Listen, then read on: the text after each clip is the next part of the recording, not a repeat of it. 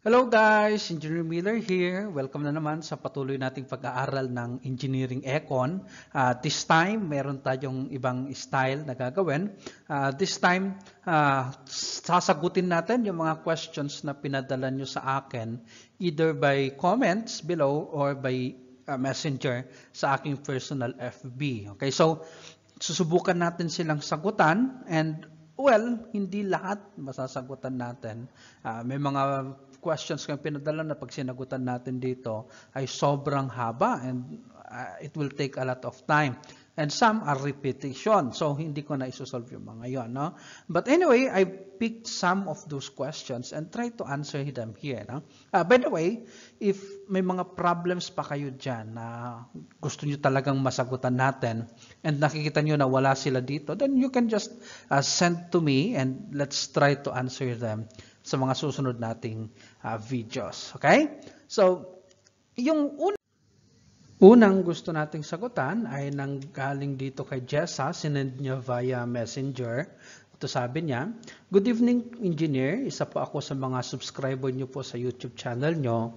May ipapatulong lang po sana akong problem sa engineering economy, sir, na problem from Shakum's Engineering Economy Supplementary Problem po. Nalilito po kasi ako, sir, sa di ko po makuha yung sagot. Uh, father, ito yung problem, no? A father wants to set aside money for his eight-year-old daughter's future education by monthly deposits to a bank account that pays 8% per year, compounded annually. What equal monthly deposits must the father make the first month after his, her ninth birthday and the last on her 17th birthday in order for her to withdraw $4,000 on each of her next four birthdays. That would be the 8th through the 21st birthday. At andito rin yung sagot, no? Actually, uh, yun nga lang kasi ang gusto niya is sana makuha kung paano nakuha yon. Sana sa and then sabi niya, I hope sir manotice niyo po. Thank you po. of course. Okay, now try nating sagutan. In-encode ko na rin dito yung problem, no? Now, sa lahat ng problem na sinosolve natin sa engineering econ, no, or let's say majority, kailangan gamitan natin ng cash flow diagram. Now, always actually, no, always draw the cash flow diagram. Ang practice ng pag-drawing ng palagian ng cash flow diagram ay sobrang nakakatulong sa pagsusolve ng engineering econ. It makes your solutions more accurate meron kang visual na nakikita nito. At itong cash flow diagram, tinuturo niya sa iyo kung anong gagawin mo dun sa para ma-solve yung problem. In fact, itong problem na to, pag di mo talaga ginamitan ng cash flow diagram to, nako, maliban na lang siguro kung Hokage ka, pwede, pero nako, sabi ko na. O, ito, try natin. Siyempre, sabi nung problem, yung father magde-deposit ng monthly payments at mag-uumpisa yon dun sa first month after her ninth birthday. So, ayan si 9, one month after, magde-deposit siya. A certain amount A. And then sabi niya, itong deposit na to ay monthly deposits. So, ibig sabihin, every month magde-deposit siya ng the same amount. Okay? Until, shortcut natin, hanggang 17th birthday ng kanyang daughter. Now, remember, kapag ang isang bayad ay pare-pareho na bayarin at pare-parehas din yung interval, ang tawag natin dyan ay annuity. Okay? Now, itong mga to ay kailangan niyang i-deposit in order na pagdating ng 18th birthday niya ay makaka-receive yung anak niya ng tig 4,000 hanggang sa kanyang 21st birthday. So, ayan yung itsura niya. Okay? Now, pag drawing natin yung cash flow diagram na ganyan, na ilatag na natin, ang practice ng ginagamit natin dito sa channel ay ilagay natin lahat sa future. Okay? So, unahin natin sa taas si A. Yung mga annuity na yan, hindi natin pwedeng idiretso dun sa future dun sa 21. ipunin muna natin lahat yan dun sa 17 kasi hindi pwedeng idiretso dun sa 21 yan. Ganito gagawin natin. No? Ipunin natin yung total ng lahat ng A o tawagin kong TA. And then from there, dun sa 17th, i-forward natin siya papunta ng 21. So ito na yung future ng mga A. Okay? Dito naman sa baba, walang problema dito. Ibato lang natin or i-forward natin sa future na 21. Yun yung pinakalas na date based dito sa ating problem. So, may future sa 4,000. Ngayon, ang kagandahan pag nilalatag mo siya sa cash flow diagram, nakikita mo, tinuturoan ka niya kung anong gagawin mo dito. Pansinin niyo yung mga A. Anong period ng mga A? Tuwing kailan natin binabayaran? Monthly. So kung monthly ang bayad, dapat si interest at si period ay in terms of month. Ibig sabihin, yung I should be monthly at yung N should be the number of periods. Of course, from 9 years to 8 uh, to 17, that would be 8 years times 12 months. So yung period ng A should be 96 months. Now, pagdating natin, pag kinuha natin yung total niyan dun sa may 17 na banda, yung total ng A or TA, at ifo-forward natin siya papunta ng 21, mapapansin ninyo, dito na sa from 17 to 21, pwede na natin itong i-consider na yearly. Kasi hindi naman na nagbabayad dyan ng monthly. So pwede na natin gamitin dyan yung 4 na N, 4 years. Pwede nyo pa rin gamitin si month, walang problema. Pero mas madali na lang si 4 na N, na yearly. So kung ang ginamit nating N ay 4 years, dapat si interest ay in terms of year din, yearly. So ang I should be yearly, which is 8%. Yun yung gagawin sa taas. Sa baba tayo tumingin. Sa baba, si 4,000 ay dinidipa, ah, wini-withdraw every year from 18 to 21. So, kung every year binabayaran or wini-withdraw, dapat yan, ang I niya ay yearly at yung period niya din ay yearly. So, 4 and 8. Ayan, no? Now, from here, nakikita ninyo, kompleto yung ating cash flow diagram, yung mga values kompleto, maliban na lang kay I, yung monthly interest. So, kailangan kumpletohin mo itong cash flow diagram na to. So si monthly, kailangan ma-solve natin yan. I-convert natin from yearly, gawin nating monthly. So gagamit tayo ng tinatawag natin na 1 peso 1 year analysis. Ito yan, no? Yung 1 plus i pag yearly is equal to 1 plus i monthly raised to m. So ang hahanapin natin ay si i monthly at yung monthly, kung monthly yan, yung m is the number of months per year, which is 12.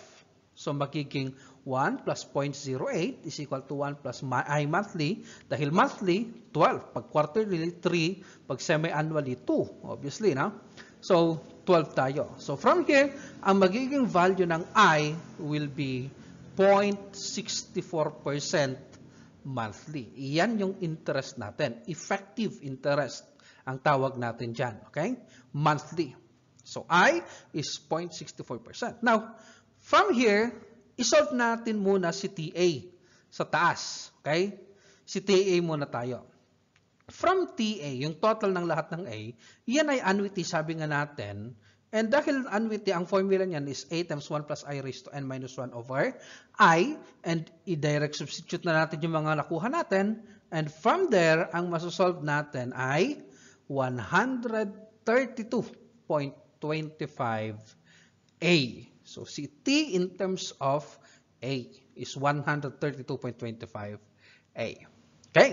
So, gawin natin, ilagay natin ngayon ulit yung cash flow diagram. Tapos na natin makuha yung TA. Uh, punta tayo dun sa year 21. Dito sa year 21, makikita nyo dyan, andyan si FA at andyan si F ng $4,000 may pataas at may pababa. Dapat, kung magkano yung pataas, yun din yung pababa. So therefore, si FA should be equal to F ng $4,000. Now, balikan natin, no? Si FA. Si FA na ay nanggaling kay TA. Si TA ay i-consider nating single payment dahil iisa na lang siya doon sa 17th year, no? Parang binuo natin lahat ng A para maging iisa na lang doon sa 17th year. So dahil iisa na lang siya at ifo-forward natin sa future, it is now a single payment compound interest. At ang formula nun ay P times 1 plus I raised to N. Okay? Dito sa baba, sina 4,000 obviously is annuity. Paulit-ulit na bayarin, equal payments at equal interval or uniform payment, uniform interval. At ang formula niyan is A times 1 plus I raised to N minus 1 over I. So, balik tayo dun sa equation natin. Si FA ay magiging P times 1 plus I raised to N, na kung saan yung P ay magiging TA times 1 plus I raised to N, at yung baba is A times 1 plus I raised to N. Na kung saan, ipalit lang natin yung mga values natin. Ang TA ay 132.25A times 1 plus 0.08 raised to 4 is equal to 4,000 times 1 plus uh, 0.08 raised to 4 minus 1 over 0.08. And from here, shift solve or kung ano man yung calculator na gamit nyo, ang value ng A will now become 100.17 pesos. Okay? So, yan yung solution nito. Okay? Next, try natin yung susunod. Okay, so Jessa, tinan mo, ito na yung solution ng tanong na sinad mo sa akin. Sunod naman ay galing kay June. Sabi niya dito, Can you make a videos about solving time value of money and uh, and may I know how to solve this problem? Okay, I think sinad niya ito sa YouTube, no? Sabi niya, number one, I think isa na lang ang isolve natin or Ah, hindi, binubuenas ako ngayong araw. Dalawa. Dalawa i-solve natin.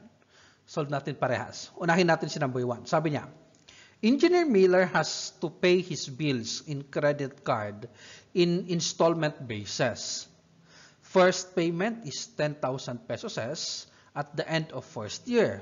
20,000 pesos at the end of third year. 30,000 at the end of sixth year.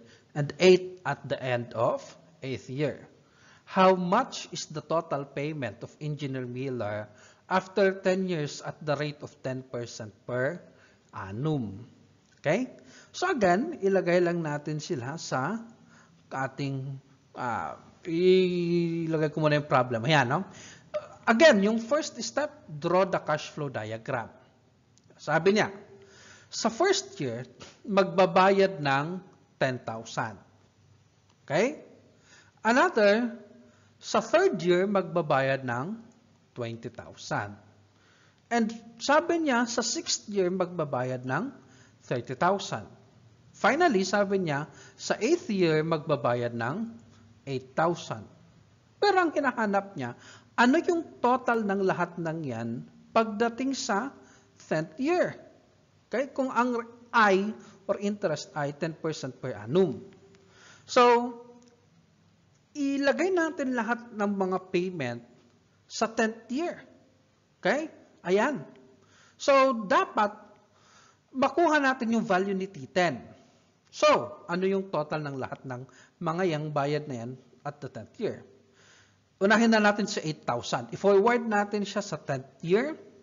Ayan. So, may future si 8K. Ang period niya obviously is 2 years. May future si 30K. Ang period niya naman is 4 years. Ang may future si 20K, of course, ang period naman niya ay 7 years. And may future si 10K at ang period niyan is 9 years. Okay? Now, ang mga ganitong bayad, napapansin nyo si 8,000 ay iisa lang yan, 8,000. Single, one-time, unique payment. Ang tawag natin dyan ay single payment compound interest. Okay? So, ang gagawin natin, pupunta tayo doon sa uh, 10th year at yung pataas ay equal sa lahat ng pababa. So, si T10 ay equal sa, T, sa F8, uh, future ni 8K, plus future ni 30K, plus future ni 20K, plus future ni 10K. Okay? So, from there, sabi nga natin, no, itong mga 10,000, 20,000, 30,000, 8,000, lahat yan ay single payment. So, ang formula is P times 1 plus I raised to N. So, there, yung interest is, sabi niya, 10% per annum. Now, yung period ay 4 years.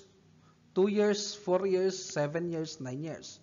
So kung years ang period, dapat si interest ay years din. Eh ito, per annum. Ibig sabihin, per year or annually. So ang ating 10% ay effective na yan. Okay? So yan na gagamitin natin. So puntahan natin dito. Si T10 is equal to 8,000 times 1 plus 0.10 raised to 2 years. O yan. Uh, Dire-diretso lang natin. Pagsama-samahin lang natin lahat. And finally, pag sinolve natin lahat, ang magiging T10 or total ng lahat ng bayad at the 10th year is 100,000 116,156.82 pesos. So, ayan, dyan. Ah, sagutan natin yung isang tanong. Okay, sabi mo dito sa number 2, Engineer Miller bought a second-hand car worth 150,000 pesos if paid in cash. On installment basis, he paid a down payment of 50,000, 30,000 at the end of the first year or one year, 40,000 at the end of two years, and the final payment of uh, at the end of four years, ah, walang sinabi. What will be the final payment if money is worth 15,000, uh, 15% per annum? Nangyayari sa akin. Okay, so June sasagutan ko rin yung pangalawa, ha? Okay, so yan code ko ulit. Ayan. Now again, ilagay mo lang sa cash flow diagram. Itong mga problem na pinadala ni June, uh, mga basic ito sa single payment. No? Marami akong sinolve na ganito dati doon sa single payment video natin. Tignan nyo lang doon. Okay, so from here, sabi, may babayaran tayong car na worth 150,000. So ilagay natin sa taas, sa zero. Babayaran natin yan, no? Yan yung kailangan natin bayaran, 150k. Yung down payment, of course, pag sinabing down payment, dun sa mismong araw, kung kailan mo ilalabas yung sasakyan, which is 50,000 sa zero. Now, at the end of one year, uh, magde-deposit siya ng 30,000. And at the end of second year of two years, magde-deposit siya ng 4,000, 40,000. And finally, magde-deposit siya ng, uh, mababayaran na niya fully pagdating ng fourth year. Ang tanong ay kung magkano ito. Tawagin kong X. Okay? Yung math kasi, hindi na siya doon nakakapag-move on yan. No? Puro X lang iniisip niya. No? so, Ilagay natin lahat ngayon itong mga to sa future. Just the same, no? Paulit-ulit lang. Unahin na natin si 150k sa taas. So ito, ilagay natin sa future. May future si 150k. Sa baba, si 40k. Ah, yung period is 4 sa taas. Si 40k, ayan, may future at ang period niyan is 2 years. Si 30k at ang period niya ay 3 years. Si 50k at ang period niya ay 4 years. And, well, katulad ng nung ginawa natin kanina, i-equate ulit natin, yung pataas is equal to pababa. So, ayan. Uh, take note also na yung interest is 15% per annum. Again, kung ang bayad or ang period ay yearly, dapat si interest din ay yearly. At dahil ito ay 15% per annum, ibig sabihin siya na ay effective interest. Kung quarterly ang bayad, dapat si period at interest din ay quarterly. So in this case, yearly. Okay, so equate na natin itong mga andito sa dulo. So si future ni 150k is equal to x plus 40k plus 30k plus future ni 50k. So from there, direct substitution lang natin. But remember, single payment formula ang gagamitin natin dahil single payment lang, p times 1 plus i raised to n. And na, and yung magiging value ng x will be 76,374.38 pesos. Okay? So, June, ayan na, Jan, ayan na yung sagot sa mga tanong mo. Okay? Ah, another, ito, hindi nyo pinadala to. Ginawa ko lang ito, no? Para lang ah, masagot natin, may idea tayo kung paano natin sasagutin yung susunod na tanong na pinadala ninyo. Kasi medyo komplikado yon. Basic muna tayo. Problem 4. Ito, ginawa ko lang to. Engineer Miller invested a certain amount in a bank at its maturity date. He will receive 85,000 pesos. Because of the pandemic, he decided to withdraw it five months in advance, but at 3.5% discount. How much did he receive? Okay? So this is a case of discount, simple discount interest. Okay. Yung simple discount, marami ring nagtatanong kasi dito at marami ah, yung mga tanong ninyo is wala yata dun sa mga na-discuss ko dati, no? So, kaya dinagdag ko ito dito para to supplement yung mga y- yung mga problems na ginamit ko doon sa una nating video pagdating sa simple interest at simple discount. So dito, ang balikan muna natin si simple interest. Yung formula natin is I is equal to P times, one, ah, times I times N. Yan pag simple interest. I is P times I times N. Principal times interest times period. Na kung saan yung future amount is P plus I. Or pwedeng sabihin na yung future is P times 1 plus I N. Walang pinagkaiba. ah, walang problema. Walang pinagkaiba dun sa taas. Pagdating sa simple discount, ito naman yung mga formula doon. The discount amount is equal to principal times discount rate times the number of period. Na kung saan yung magiging future amount or discounted amount is P minus discount price. Or, walang pinagkaiba yan sa future is P times 1 minus DN. So notice, pag simple interest plus pag simple discount, nagiging minus. Okay? Now, itong problem natin, sabi niya, nung ah, siya raw ay may investment sa bangko and supposed to be, mare-receive niya yan na 85,000 pesos. Yan yung supposed to be mare-receive niya. Doon sa kanyang maturity date. E pandemya, kailangan niya ng pera. Yung maturity date is 5 months pa mula ngayon. Pero gusto niya, gusto niya nang i-withdraw yung pera kasi kailangan na nga niya. So, mag-withdraw siya, i-withdraw niya yung amount. Kaya lang, hindi niya ma-withdraw yung full na 85,000, kundi ma-withdraw niya at a 3.5% discount kasi in advance niya. So dito, meron tayong value. Yun yung hinahanap. Kung magkano yung na-withdraw niya 5 months before the maturity date. At ang compromise ay ito ay magiging 3.5 discount. Okay, so madi-discountan ng 3.5%. Now, how do we solve this? Well, just remember, no? Sabi natin yung uh, yung deducted amount ang kunin natin. Sabi natin, yung deducted amount or discount amount is principal times discount interest times period. Well, in this case, yung discount should be 85,000. Yun yung kailangan, yung matatanggap niya sana. Pero na-discountan ng 0.035 or 3.5%. At ang discount period ay 5 over 12 or 5 months or 5 out of 12 months. Okay? So, yung period ay always in terms of years. So, 5 over 12 or 5 twelfths of a year.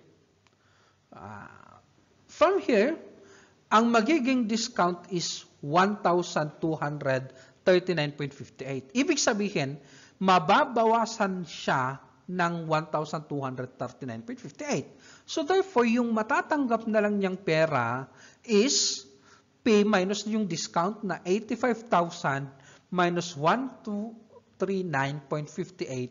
So therefore, ang marireceive niya is 83,760.48. Iyan yung amount na marireceive niya. Iyan yung tinatawag nating discounted value. Well, uh, pwede rin natin siyang isolve gamit yung isa pa, yung OR natin doon, which is P times 1 minus DN, and parehas lang ang lalabas dyan, no? 85,000 times 1 minus 0.035 times 5 over 12, and ang lalabas din ay 83,760.42 pesos. So, ganito natin sinusolve pag simple discounts. Now, kaya natin sinolve yun is para masagutan natin na mas madali itong tanong ni Leo. Okay? Sabi niya, paano naman po pag ganito yung problem? A man borrows money from a bank which uses a simple discount rate of 14%. He signs a promissory note to pay 500 pesos per month at the end of fourth, sixth, and seven months, respectively. Determine the amount of money that he received from the bank. Ah, maybe, I think ito ay isang board exam problem, pero I think sa ECE ito. Uh, I'm not sure, no? But anyway, let's try to solve this one. Pinadala siya ni Leo. Okay? So, again, uh, yung mga discount ay madadali lang. Nakakalito lang minsan. Okay? ilatag mo lang dun sa cash flow diagram. Sabi niya, magkano daw yung amount na marireceive niya sa bank kung ang promise niya ay magbabayad siya ng 500 sa fourth month, 600 sa sixth month, ay 500 din sa sixth month, and another 500 sa seventh month. Ang kinahanap is magkano yung natanggap niya. Again, tawagin ulit nating X at 14% discount. So, how do we do this? How do we solve? Okay. Now, again, ilagay natin, yung gamitin natin yung formula natin kanina, yung shortcut na lang ha, yung mas madali. Sabi natin, yung discounted price is P times 1 minus D times N. Okay? P times 1 minus D times N. Ayan. So, ilagay lang natin, eh, tatlo, o di tatlo din, pagplasin lang natin lahat. 500. Yung una, nasa fourth month. So, 4 months out of 12 months or 4 out of 12th year or 1 third year or 0.33 years. So, 1 minus 0.14 times 4 over 12 plus 500 times 1 minus 0.14 times 6 over 12 plus 500 times 1 minus 0.14 times 7 over 12. And finally, ang sagot is 1,400.83 pesos. Iyan yung amount na marireceive niya. Okay? So, ayan na. Uh, yung sagot sa tanong. Okay? Isa pa. Ah, I think may dalawa pa. Si Mary Claire naman ito.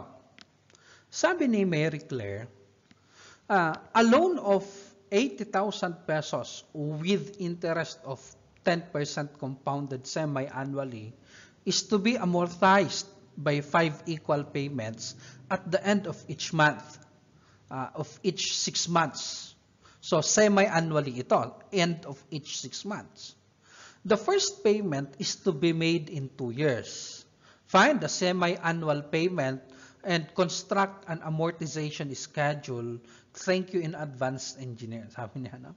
Well, yung amortization schedule, ano lang naman yan, ah, kung 6 months, o di maglagay ka lang ng, um, ng mga period kung uh, na ang interval ay 6 months and then lalagay mo lang dun yung kung magkano yung babayaran niya at that time. So, hindi na natin gagawin yon. Ang importante sa atin ay kung magkano yung babayaran niya, yung semi-annual payment.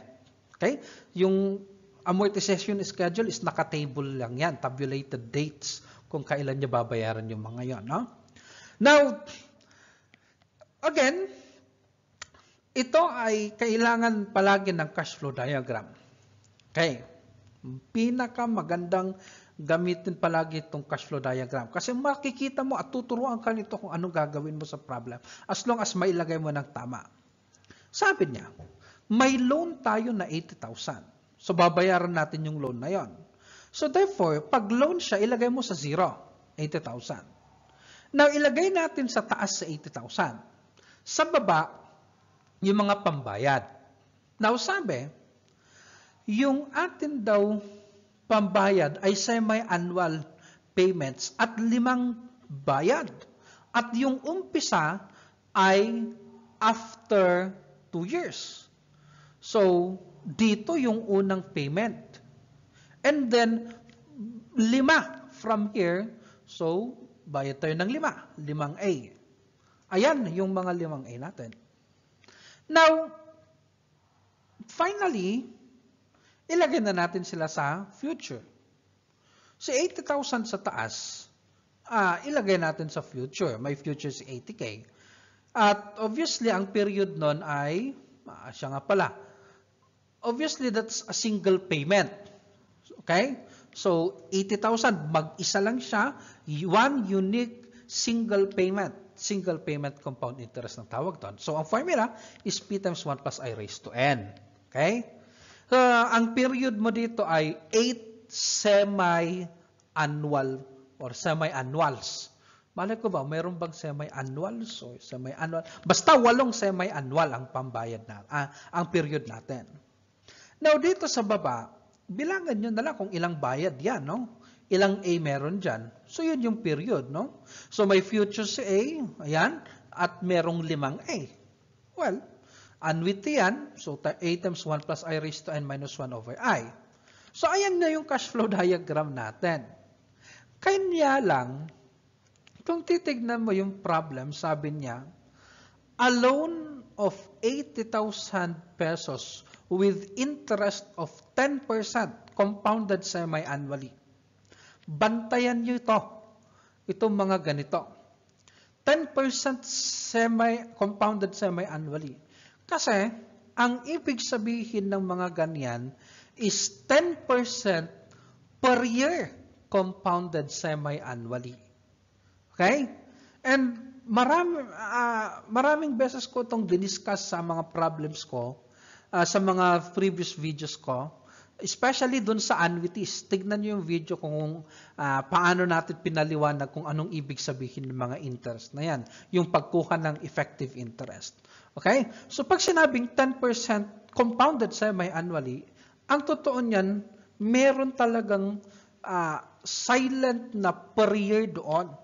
So ito ay dahil 10% per year compounded semi-annually, si per year at si semi-annually ay hindi parehas, ito ay nominal interest. So, pag yung nasa harap at nasa dulo ay hindi parehas, hindi yon effective. Nominal yon. So, igagamitin natin, gagawin natin itong effective. Pero, dahil yung bayad ay semi-annual at yung dulo ay compounded semi-annually, so wala nang problema dun sa dulo. Ang problema dito sa umpisa. Kasi dito sabi niya kasi no, ito ay per year. Ayan no, per year. So, kailangan magawan natin ng paraan na itong per year na to ay maging semi-annual. So, madali lang dyan. I-divide mo lang yung per year, gagawin mong semi-annual. So, ilang semi-annual sa isang year? O dalawa. So I, or effective interest, is J over M. That would mean na yan ay 10% over 2 or that is 5% semi-annually, compounded semi-annually. Yung 5% na yan ang gagamitin natin sa problem na interest. Okay? So, yung future ni 80,000 is equal to future ni A. Dito sa harap, again, doon sa fourth year uh, direct substitution lang tayo, 80,000, and yung magiging value ngayon ng A is 21,390.58 pesos. Hala! Again, parang madali lang yung problem, pero pag di ka nag-ingat, uh, malalagot ka talaga magkakamali ka talaga. Lalo na pag di mo yung cash flow diagram. Okay? So, yan yung sagot dito.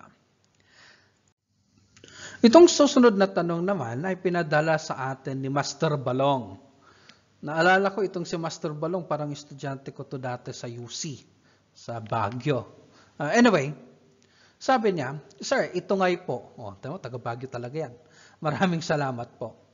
On January 1, 2008, the purchasing engineer of a cement company purchased a new machine at a cost of 1,400,000.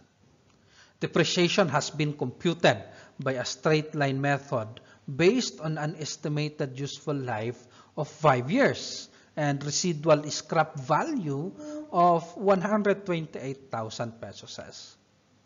On January 2, 2011, extraordinary repairs, which are almost equivalent to a rebuilding of the machinery, were performed at a cost of 304,000 pesos. Because of the thorough of the thorough going nature of these repairs, the normal life of machinery was extended materially.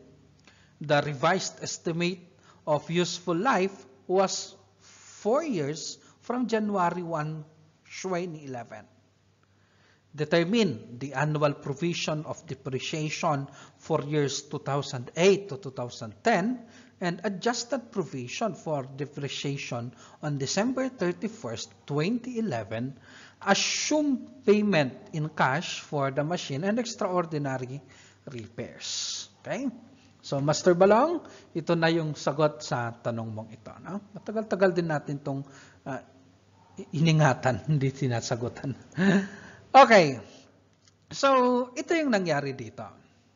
Sa sa cash flow diagram nito, bumili tayo ng machine na worth 1.4 million nung January 1, 2008. Okay, so sa January, uh, sa 2008, maglalagay tayo dito ng first cost na 1.4 million. And then sabi niya, meron daw itong economic life na 5 years. Okay? At at the sa dulo ng 5 years, ibig sabihin 2013, ang salvage value na lang niya is 128,000. Ibig sabihin, yung total na na-depreciate or total depreciation DN will be 1.4 million minus 128,000 which means 1,272,000. Yan yung total depreciation. Now, pansinin niyo yung hinahanap sa problem. Sabi niya, determine the annual provisions for depreciation for the years 2008 to 2010. In short, hinahanap niya yung depreciation charge or yung yearly cost of depreciation or yung annual depreciation or technically depreciation charge in, in technical terms. Okay? So, yearly, nagde-depreciate itong asset natin at ang tawag natin doon ay annual depreciation D, small letter D. At kapag ito ay straight line method, napakadali lang itong isolve. Uh, masosolve natin siya gamit yung uh, kung ano yung total depreciation, divide mo lang sa number of economic life, DN over N. So from here, yung depreciation charge every year is 1,272,000 over 5. Finally, that's 254,400 pesos. Ibig sabihin, the machine depreciates 254,400 per year. This is from 2008 to 2013 including na dyan si 2008 to 2010 na hinahanap sa problem. Okay? So, yun yung unang hinahanap. Yung nga lang kasi, dito sa problem na pinadala sa atin, sabi niya, magkakaroon daw ng extraordinary repairs sa taong sa period na January 2, 2011.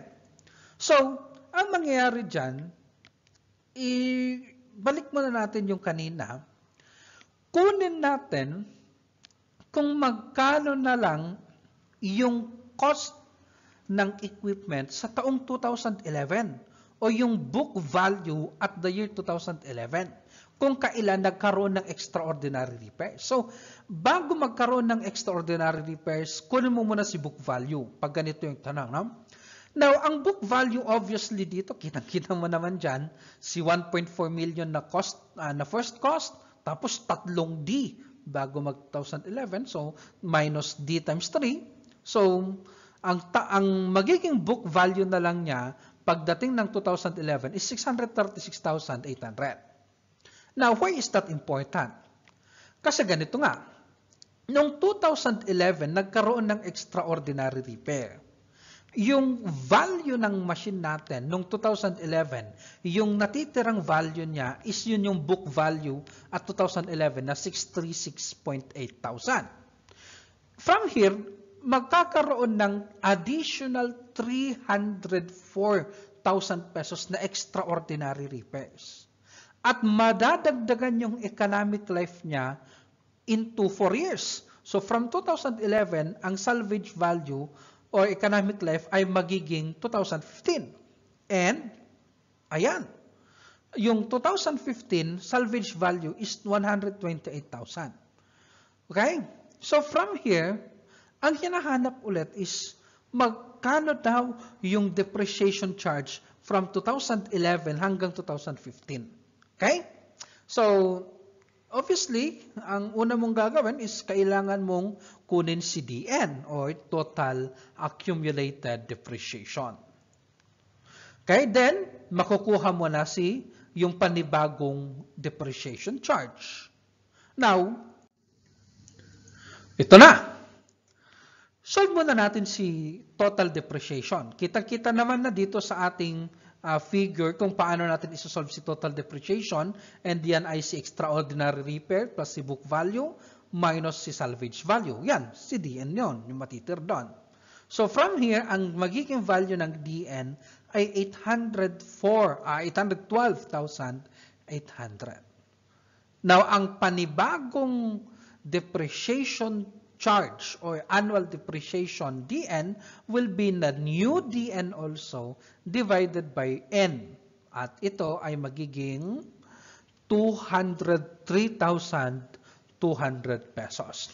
Ibig sabihin, yung machine natin ay nagde-depreciate ng uh, depreciation charge from 2011 to 2015 is 203,200 per year.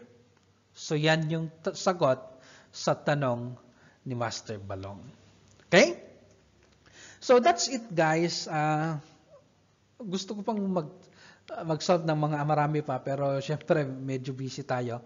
Uh, marami tayong gagawin, uh, kailangan gawin. So anyway, if you have more questions, I really love doing this, no? Yung magsagot ng mga tanong na sinesend nyo sa akin. So if you have more questions, just feel free to uh, post them below and comment them below. Uh, i-like nyo tong mga videos natin, subscribe, panoorin nyo guys. Okay? So God bless you, mag-ingat kay Corona, and mag-aral ng mabuti. Kayong mga nag nag uh, online class, mm, marami akong topic dito sa Engineering Econ. I hope nakakatulong sila. Okay? Maraming maraming salamat. Share nyo sa mga classmates nyo. See you!